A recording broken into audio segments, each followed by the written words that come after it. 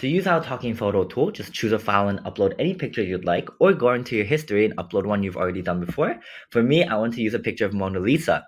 You can change the content if you don't like the picture, and just type what you want her to say. For example, hi, I believe Eugene should get a raise. I'm Eugene, by the way, and then, and then you can even change the voice to a male. You can change the language, but I'll keep it at English so my boss can hear this. And then you could even listen to what she'll sound like. Hi, my name is Ruth. I like Ruth, so I'll keep it at Ruth. Change the speed at which she'll talk. I'll keep it at one. And just in case you don't know if you'll like what she says, you can click on this and